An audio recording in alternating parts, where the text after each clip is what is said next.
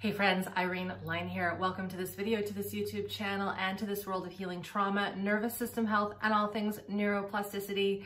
One of my favorite ways to teach difficult concepts around uh, the nervous system and healing trauma and getting into the, the physiology environment is via example. And so I wanted to share an example that I have used numerous, numerous times in my teaching arenas with my students on podcasts that I am on, online summits. I repeat it over and over again. So I thought I'd document it here so that you hear this example. And I'm gonna talk about it in relationship to how we as human beings tend to numb ourselves out or dissociate or go into what's called functional freeze. So functional freeze is a concept that I learned through my mentors and teachers in the world of somatic experiencing and somatic practice. And in a nutshell, what it means is we are numbing out, we're shutting down, we're disconnecting from our body, our internal physiology, our sensations, our emotions, our life force energy.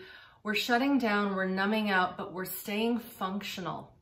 And by that I mean, is that if we go into a survival response, so if we think about fight, flight, freeze, so fight is attack, flight is get the heck out of this dangerous situation, and freeze is a way of describing a, a person or an animal, a mammal, um, or an animal that goes into kind of this shock state and they can't move, they can't fight, they can't flee, they can't think, um, and all of their metabolic processes just kind of goes on, on halt, on standby, and everything drops in a sense. Blood pressure drops, heart rate drops, everything goes into the core. And it disallows us to fight and flee. When all of our blood goes to our core, our extremities can't do what they need to do to do these actions of defense and flee. So when we go into a freeze response, Sometimes we might go into such an extreme one that we are completely in shock. We, we can't move. Um, we might pass out. This, these are all signs of going into that high level of, of shutdown. It's called dorsal vagus shutdown um, of the parasympathetic nervous system, dorsal vagal, I should say. It's part of the vagus nerve that keeps us safe. But what's interesting is that for many of us humans, we are not fainting every single moment of the day. We aren't stuck in bed and we are out in the world doing things and yet we live with this sort of sense, this quality of being shut down, of being frozen, of being in this functional freeze.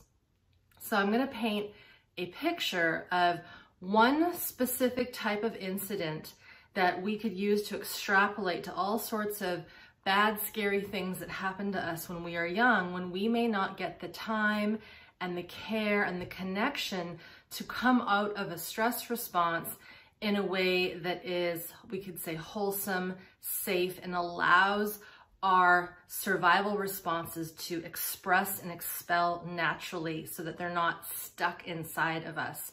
I wanted to read a quote before I get into this example. This is from Robert Scaer, who wrote the book, The Body Bears the Burden, and also Trauma Spectrum. And he wrote in one of his books, I can't remember which one, but he said, unfortunately for our species, so the human race, um, humans, for our species, unfortunately for our species, our cages are often cultural and of our own making.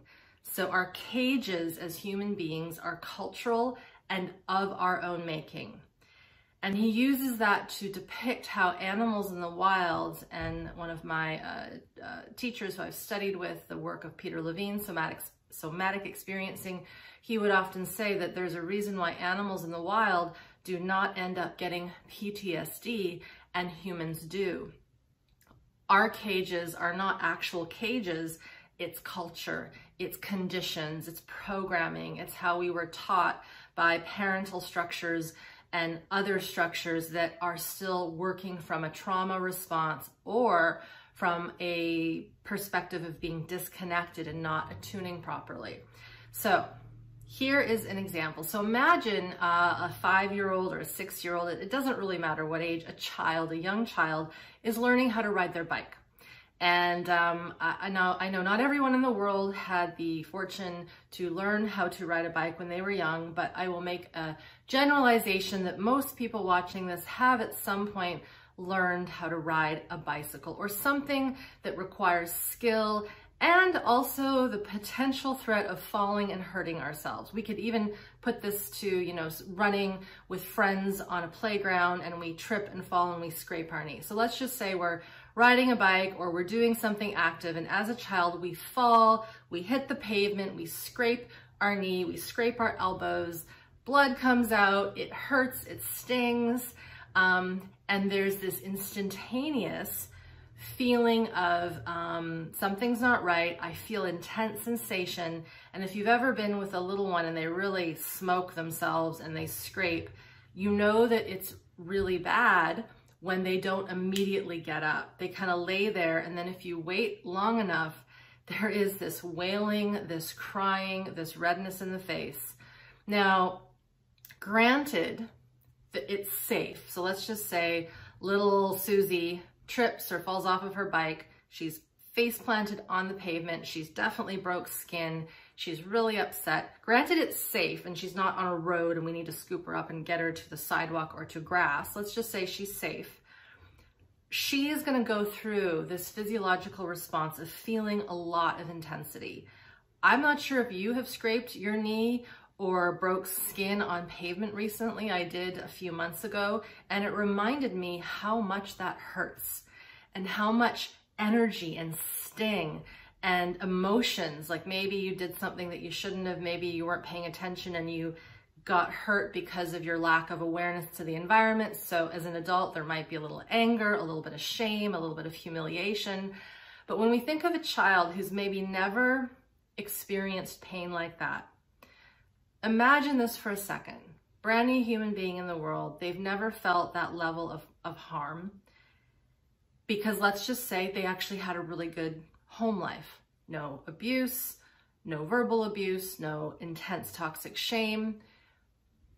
They're on their bike, they fall, they hurt. If the response from the primary caregiver is to allow that little one to feel the pain, to cry bloody murder and let it all out, if that is being allowed, with the caregiver just being there without interfering with their biological process. So I'm going to give you scenario A, which is how we might want this to occur, how I would suggest this occurs.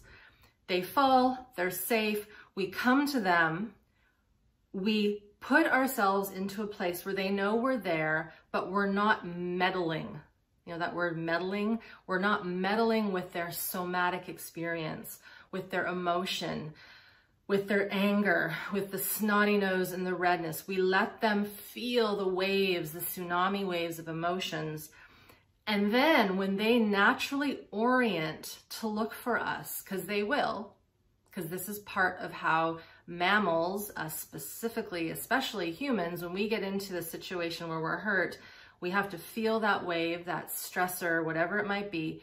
And then when that has settled, if you can imagine an ocean with lots of, lots of uh, waves and, and just crazy motion, when that settles, when the wind stops and the waves stop, all of the sediment will go down to the ocean floor and it'll be clear again. So if we imagine this little person, little Susie is crying, but she's given the time to really feel and sense when her system has come out of that activation, so I'm using my hand to depict this high activation, intense, she comes out of it.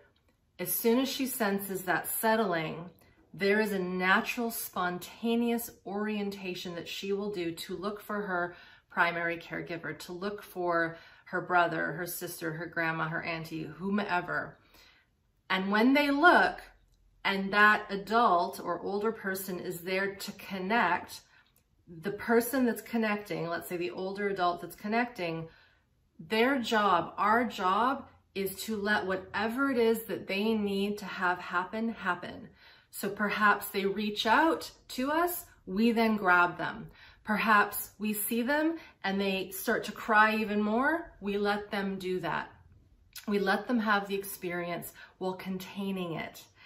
And by doing that, they get out these incredibly intense experiences out of their system. And then, you know, as time moves on, some discussion, what we would call social engagement, um, which is part of our nervous system that allows us to connect and have empathy and it actually helps bring heart rates down. So we might socially engage. We might say something like, hey, wow, that was, that was pretty big. I'm here, you know, how are you doing? Depending, of course, the age of the infant or the child, you would change the, the script and the dialogue based on their level of maturity and comprehension, right? If this is a two-year-old that just smacked themselves because they were learning how to walk, we might have we might not have the same kind of conversation as say an eight-year-old or even a nine-year-old or a six-year-old. So this is where we have to course correct as the big person to know what that little one or not so little one needs to feel safe and nurtured and connected. So let's just say that's scenario A.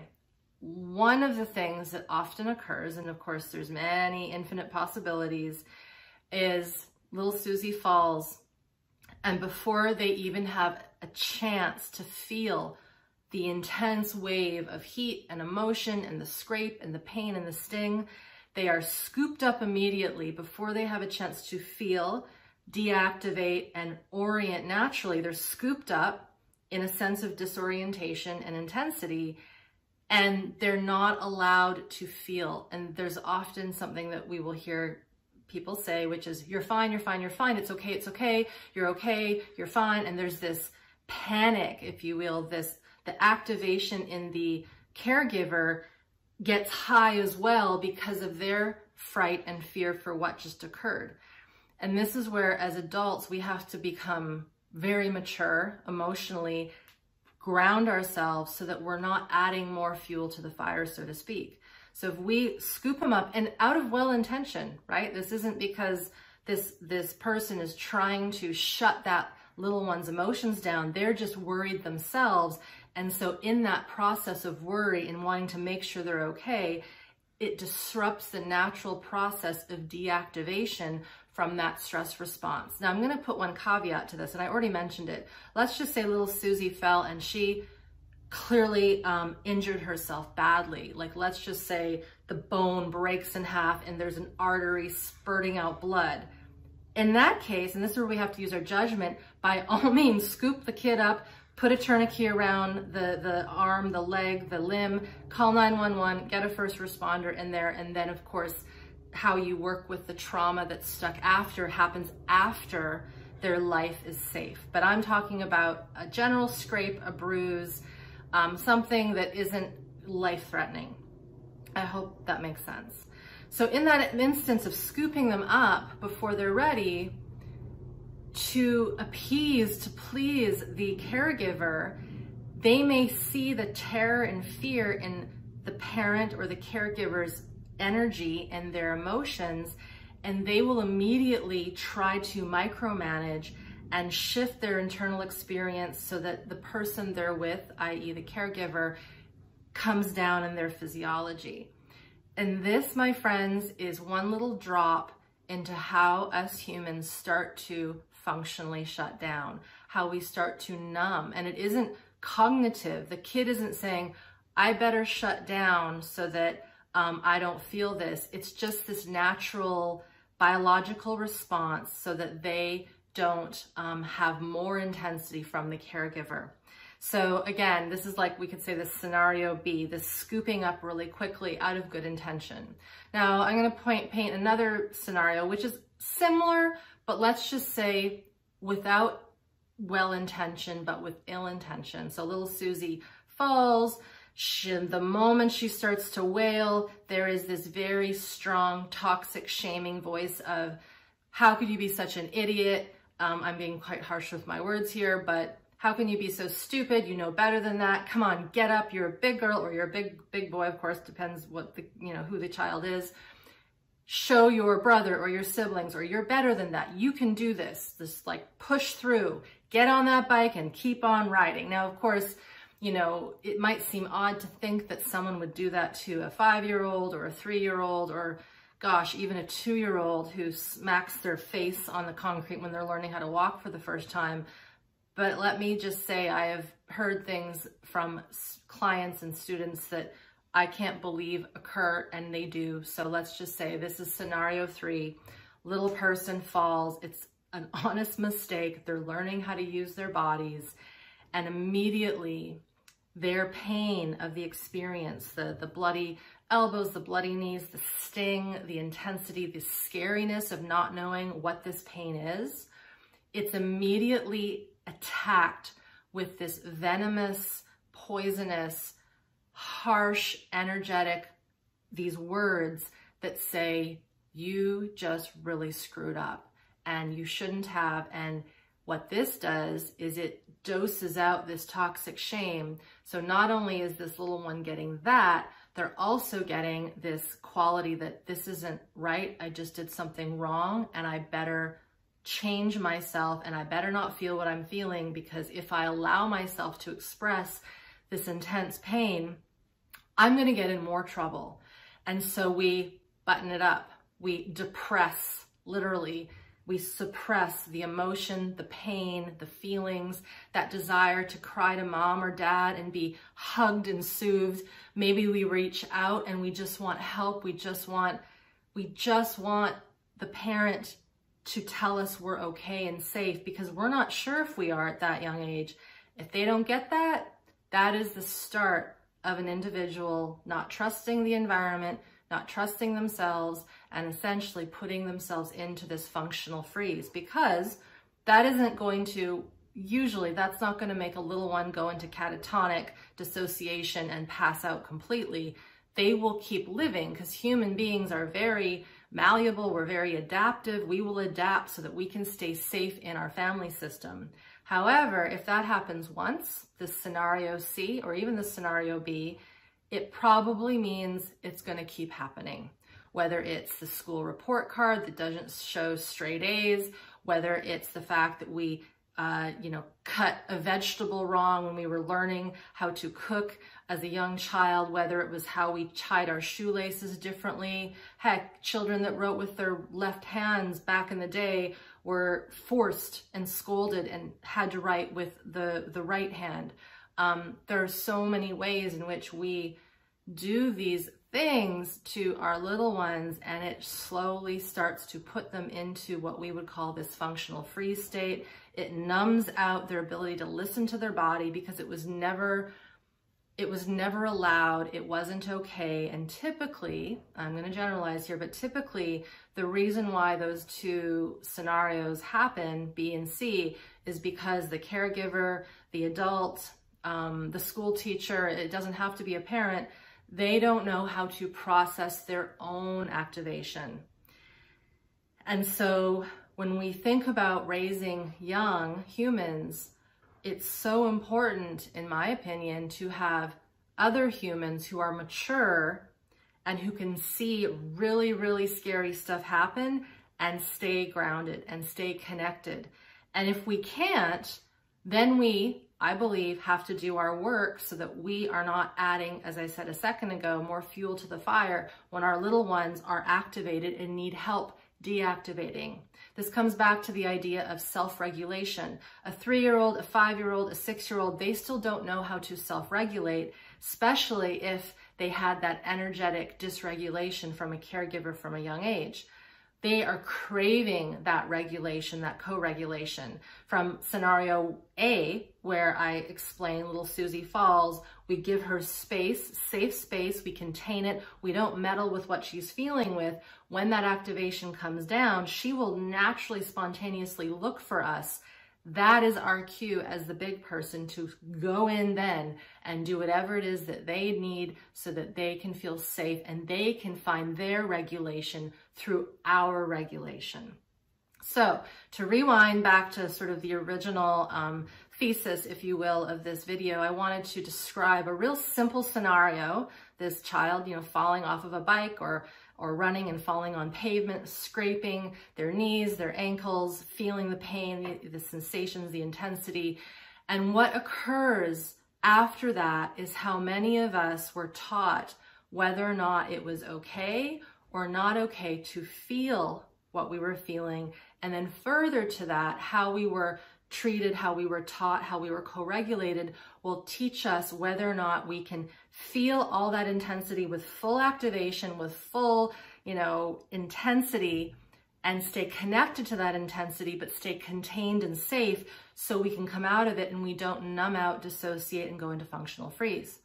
As adults, let's just say you maybe have a hunch that this is something that you experienced, that this happened to you. Maybe as an adult, you know when you stub your toe or you trip on the sidewalk and you fall or you stumble, you pretend it didn't happen. You don't allow yourself to show vulnerability, to show pain, um, whether it's in relationship to what you do with the environment or if you are with other people, whether you're watching a movie and you hold in the tears because you don't want to show emotion in a movie theater, we start to trace and find all these ways that as I went back to this quote, how our cultural, our species, our cages are cultural, right?